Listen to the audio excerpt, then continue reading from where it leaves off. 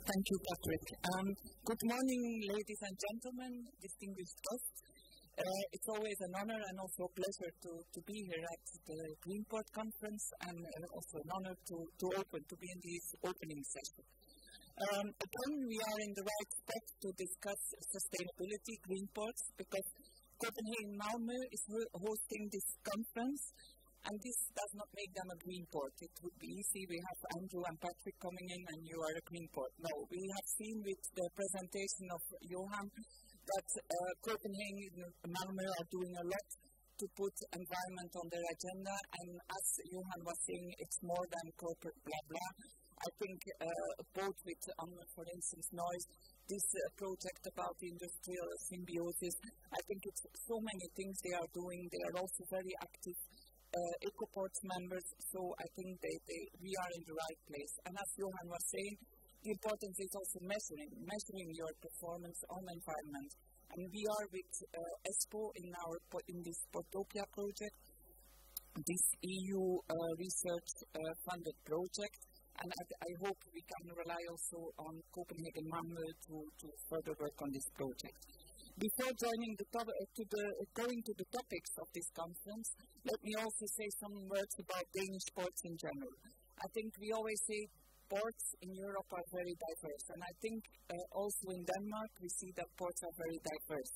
And you also see that the autonomy that we so like about ports, that uh, here it delivers. If you see the, this unique cross-border alliance of two ports, uh, Copenhagen, Malmö, at the same time, you see that there are also in Denmark a lot of small ports. Small ports who have a challenge to organize their port, to organize their services in the most efficient way. And therefore, I, let me make this side remark. I think that the, the port regulation we're discussing now is a good instrument and could be a good instrument to give this opportunity to, to smaller ports to um, organize themselves in a way that uh, suits them best. And what I also want to say is that uh, Denmark is also very active on EcoPort. We have not only um, Copenhagen Malmö, but we have Aalborg, Esbjerg, Fredericia Port, Odense, and Kalundborg, all uh, active uh, EcoPort members. Ladies and gentlemen, uh, today and tomorrow you will be discussing very interesting topics, and let me just give some words about each of them. The first topic or the first debate this morning will be about regional, international, I would even add local. You know, we as ESPO, we always say um, ports can, ships can move, but ports cannot move. So we are faced with, with also a global, global clients, let's say, global customers. And we think that so also on environmental issues, we should look at IMO. IMO should, should set uh, the standard. But if we look at the sulfur directive, for instance, this is an IMO, it comes from an IMO, but the impact in different regions in Europe is different. It's so it's a very challenging piece of legislation, but we see now after uh, nine months of implication that the impact is uh, reasonable. That certainly a big part of it is because of the lower oil price but the uncertainty remains. Uh, for instance, on scrubbers, open loop scrubbers, the acceptance of it. We know that there are different differences between the member states, and this will remain an issue, unfortunately.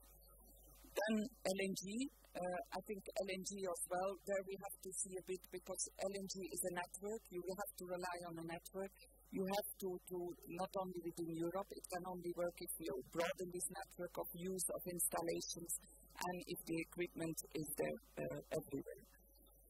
Another example in this regional international debate, ballast water, the Ballast Water Convention, a new convention that will come into force, international, but if you look at the, the, the balance, danger and risks and, and the need to, to, to take measures, we think that there might be, if there is no exemption for short sea shipping within Europe, this might, might again uh, um, burden a bit the short sea shipping traffic uh, here, and so we, we have to see how we can do that.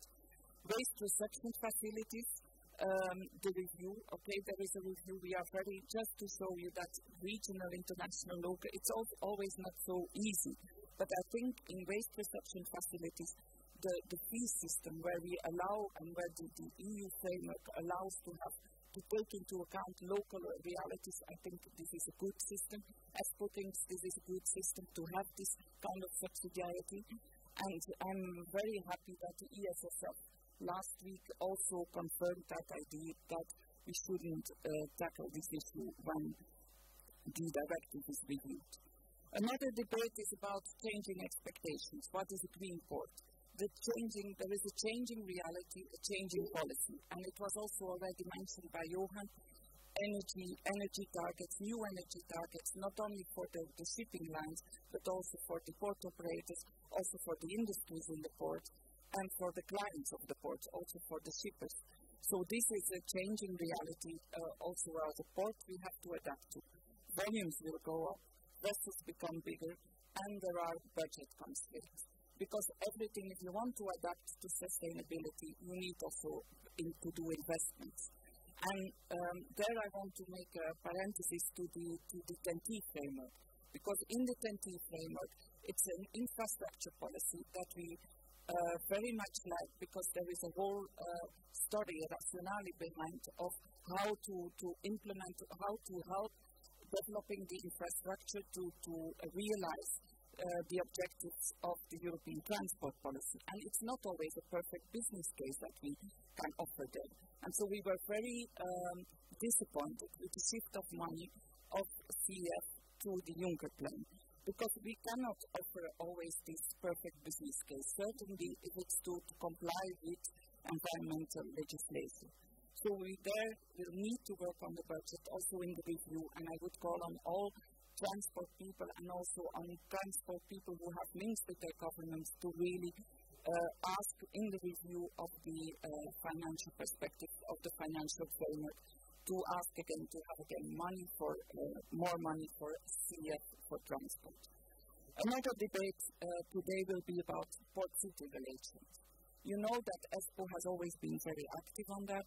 We have the quote on societal integration. We every, every year award a port that is having a very good project in the relations with port and city.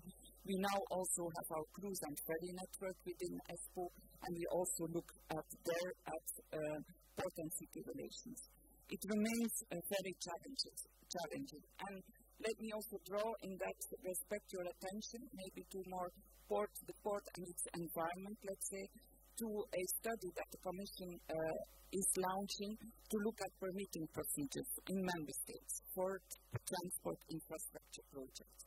I think there are a lot of good practices, but also a lot of obstacles. In some member states, the permitting procedure takes too long, are too burdensome. So uh, we are very happy that the Commission will look into that. Port City also city ports developing protected areas, so that brings us to the Natura 2000 legislation. There as well, the Commission is planning a fitness check. We, uh, as ESPO, have participated in uh, the consultation, and our main conclusion is don't touch too much on this framework because it has been a ch challenging thing for ports to, to adapt to that, to learn to live and to learn to apply this le uh, legislation. So if something has to be done, it's maybe to look at a better implementation, a better way of harmonizing the implementation, but we do not see uh, a merit or an added value in now suddenly change again this uh, Natura 2000. Then um, the final debate, I think, is today is on inland logistics, traffic management, multimodal solutions. There again, we come to 30 hinterland links, make them sustainable, uh, but we also come to better use of infrastructure, do more with less. Uh, the World Economic Forum has said that only 40% of load capacity is used. And so there, this brings us how can we improve that? And then this comes digitalization, being more smart, being more seamless, removing barriers. Uh, we, we, all know that the maritime transport without barriers is not yet a fact. So if we could limit the time in the port, that will also lead to less emissions and will also help us in an environmental uh, way. So these are also topics that we will deal with at our annual conference in Dublin on the 2nd and 3rd of June 2016. So to conclude, I wish all of you a good conference, fruitful discussions. I would like to thank the Greenport people for organizing this event and Copenhagen Malmö for hosting it. Uh, ports, we are all very individual, all each have their strengths, their needs, and the strategies, but ports are also part of a chain, and uh, transport is a network. And on environmental issues, we really believe that if you're the only one doing your best, it doesn't work. Everyone has to look in the same direction. And therefore, I think these conferences and also EcoPort is a, a good uh, forum to discuss these issues. Thank you very much.